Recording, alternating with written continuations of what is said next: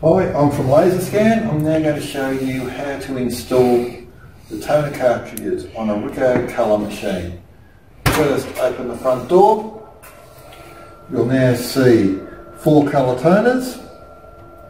Each are labelled, so you don't have to worry about putting the wrong toner in the wrong hole. To remove the toner, just pull it out. It's a bottle.